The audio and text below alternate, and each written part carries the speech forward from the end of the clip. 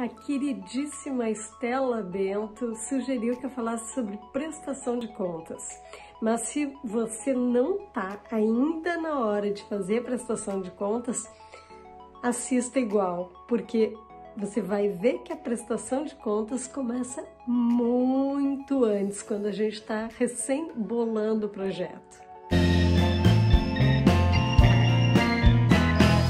Eu tô saindo de uma gripe, então me perdoem que eu tô um pouquinho, né, é, anasalada aqui, mas aguentem porque o, o conteúdo é importante.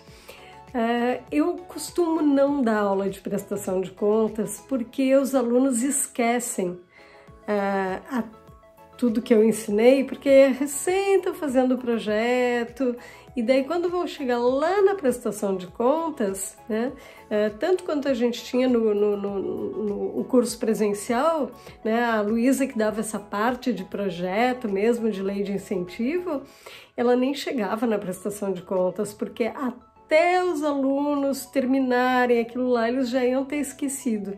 Então acabava que a gente atendia de uma forma bem mais uh, pontual, né? Então, os alunos que chegavam a fazer seus projetos, daí isso ia ser a hora que eles iam fazer a prestação de contas. O projeto era três anos depois, né? Daí a gente dava uma consultoria, eles iam ali e a gente ajudava com a, com a prestação de contas. Então acabava sendo um pouco assim que, que a gente ia tocando o barco e sempre funcionou bem. Então é difícil a gente trabalhar, dar aula de prestação de contas, porque cada projeto realmente tem as suas características, né? Tem coisas diferentes e cada mecanismo de incentivo tem um jeito diferente de fazer prestação de contas. É, então não adianta eu, senão eu teria que fazer realmente vários cursos, ó, para mecanismos municipais, para estaduais, para federais, né, para convênios. Todos esses são completamente diferentes. Então não adianta, né? Não, não adianta a gente generalizar aqui, porque ia ser uma perda de tempo e ia servir para um que outro de vocês uh, nesta uh, digamos, uma, uma fórmula que eu desse aqui. Então vamos falar sobre o que, que serve para todo mundo, né? E o que serve para todo mundo é um planejamento com conhecimento. Então, quando a gente for criar o nosso projeto, né, a gente já tem que pensar nessa facilidade da prestação de contas depois a gente ler a respeito daquele mecanismo, ver como é feita aquela prestação de contas e já ir criando. Agora, por exemplo, na, na lei federal, né, na antiga Rouanet, uh, tudo vai sendo mês a mês colocado dentro das planilhas online, né? Então a prestação de contas se torna muito fácil no final das contas, muito, muito fácil mas outros mecanismos não, as pessoas deixam tudo para o final e daí tem que reunir todo o material e tal.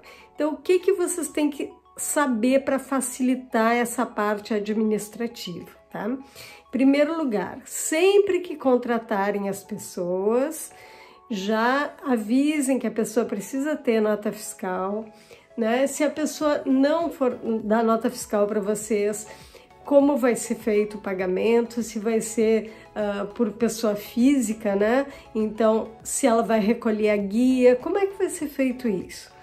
Então, isso aí, toda essa parte tributária vocês têm que ter bem claro, né? A outra coisa é que vocês têm que ter bem claro se vocês não estão passando dos valores das rubricas.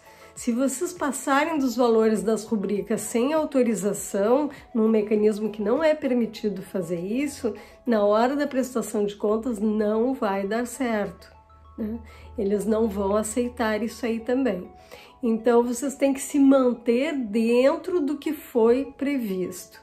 Né? Alguns mecanismos eles já têm um, uh, né, já tem um, uma, uma, uma alavanca pronta para passar, né? De, ah, então uh, vocês podem usar 50% a mais numa rubrica ou em outra, desde que não saia do mesmo campo, né? Então isso aí tá na lei. É só vocês lerem, uh, prestar atenção nisso e ler isso com cuidado enquanto estão fazendo a coisa. Se o projeto foi aprovado com determinadas rubricas, vocês não passaram daquele valor das rubricas, tá tudo ok, a prestação de contas vai ser moleza, né? Agora, se vocês passaram de uma ou de outra, daí vocês têm que prestar atenção, né? Para ver se aquilo é possível ser feito ou se vocês têm que pedir uma autorização no mecanismo, tá? Porque senão vai fechar na hora, não, não vai dar certo. Mesmo que tenha sobrado dinheiro, não dá pra gente ficar trocando de uma para outra, tá bom? E a outra coisa, então, façam, tenham sempre cópias do, das notas fiscais que vocês estão recebendo, né? E vocês têm assim, ó, dentro da prestação de contas, tem duas coisas, que é o relatório físico uh, o relatório do produto mesmo, ou seja, ah, isso aqui aconteceu, esse projeto aconteceu, então aqui está o material de divulgação, estão as fotos do evento, uh, tem uma descrição, vocês contam o que, que deu certo e o que, que deu errado.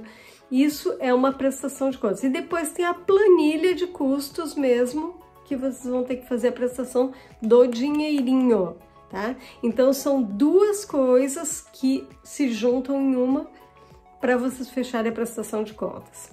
Tá? Não é um horror, sabe? É só um horror vocês pegarem, por exemplo, a prestação de contas de um projeto que vocês nunca se envolveram com a produção e de repente nada foi feito de acordo com o que estava no projeto. Daí é um pepino, né?